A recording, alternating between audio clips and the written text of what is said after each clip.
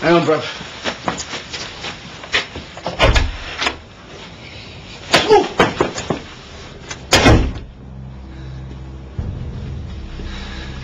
Somebody has been trying to frame Naismith.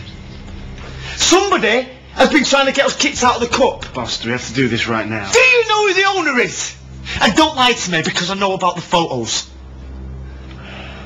Who's the owner?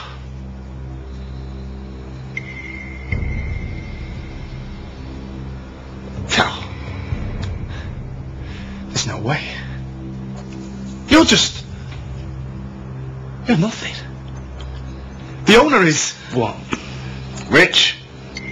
Smarter than me? You're just a bloody footballer. You honestly don't think I'm capable?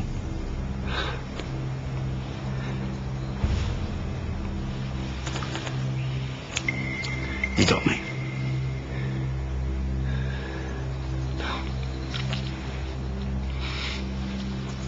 You're not old enough. The owner's been manipulating me for years. Since So. Sheffield Wednesday couldn't afford to send you to Stedman, in fact. You. For all the insults. At least I thought it'd be someone. Someone important. I think the word you're looking for is thank you.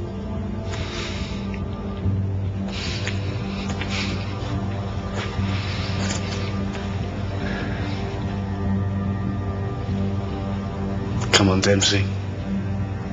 Who else would have had you as manager? Shut up. You'd have been nothing without me. Shut up! You'd have been nothing! Shut up!